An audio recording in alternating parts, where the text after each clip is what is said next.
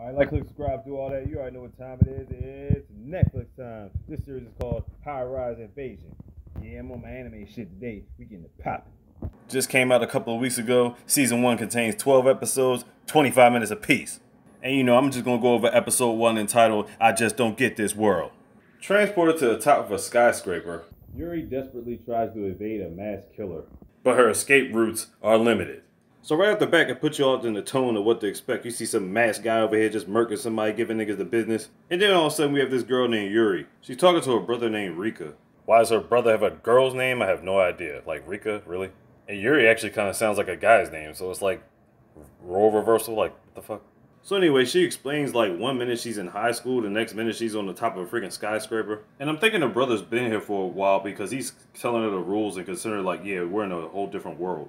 He tells that each skyscraper has these guys in masks or whatever, or girls in masks. But their intention is not to kill you, but instead they want you to make the choice of committing suicide. And he explains to her that the high rises have bridges that you could cross over to. But before he can finish even explaining, she gets attacked and her phone gets crushed. And he tosses it like yesterday's garbage. And another thing, they have to go across these bridges because these high rise buildings don't have any stairs and the elevators don't work. Or they're like completely blocked off or something. But even if they did work, you wouldn't have time to get there because somebody's trying to either kill you with a mask on or something like that. So she makes it across the bridge, but then so does this fat guy with the mask on. So they're thinking to herself, oh man, our main character about to be dead as shit. But then a police officer comes and saves the day. And then there's another one right behind him. So you know she's feeling safe for the moment because she's not all alone anymore. But as the cop that's checking on the guy that died over the edge, this motherfucker pushes him over the edge. And now this motherfucker about to be on some shit. Turns out the guy he killed was a supervisor and he just wanted to kill him for the hell of it. I'm like, what the fuck? So then he basically tries to take advantage of Yuri and makes her strip and all this other stuff. But then we see this sniper all the way from the other side of the building. He banged off on a police officer. I'm like, oh shit. Now I'm guessing if we're still considering the rules, he didn't kill him on purpose because he's not supposed to kill people. They gotta make them commit suicide and stuff like that. But then he shot him again, and I'm like, oh, he's really dead as shit this time. So as she's hiding, she just burnt this corpse. I'm like, where the fuck did she find matches from? But anyway.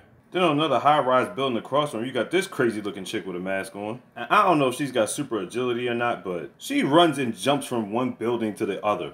Basically saying, fuck the bridge, I got hops, nigga, what's good? So now they face to face, she's got her pickaxe, and Yuri's got the gun that she took off the cop. They battle it out, and she shoots her, but she shoots her mask. Then she actually starts talking to her, and they're saying that she's telling her that the masks are pretty much controlling their every movement. So Yuri thought the people in masks were robots the whole time. Turns out they actually are human.